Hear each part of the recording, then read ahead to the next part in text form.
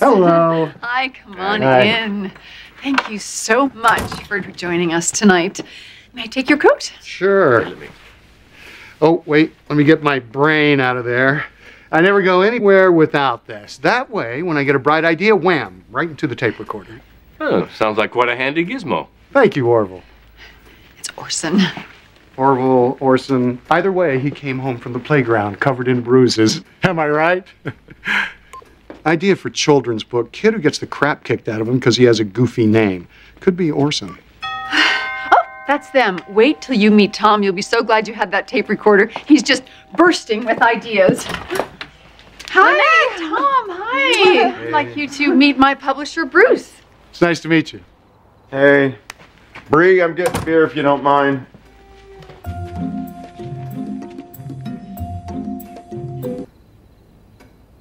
Oh. Fantastic dinner, Bree. This was a great idea. Well, I just wanted to get you together with Tom here. I thought you two might hit it off. Yeah, Tom.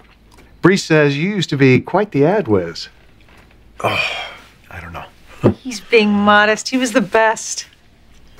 Good, because I'm looking for someone to head up a new division.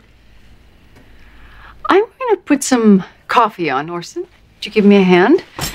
Let these three chat. So, do you think you have any interest in getting back in the game?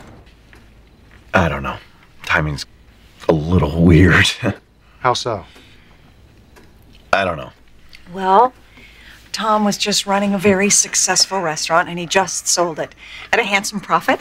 So he's waiting for the right opportunity.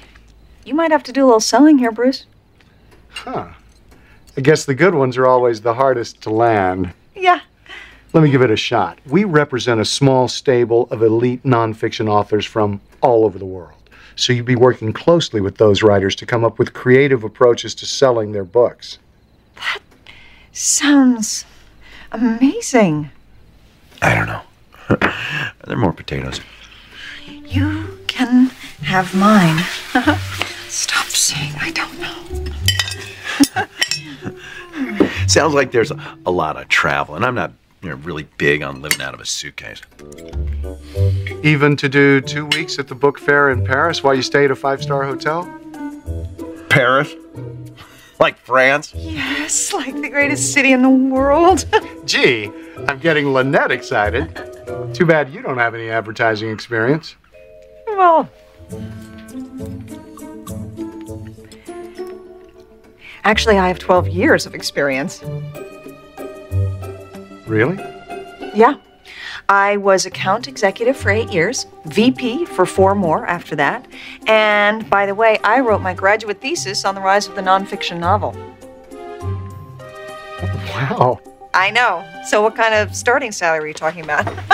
Lynette? Can I see you for a sec? okay. Bruce, could you hold that thought?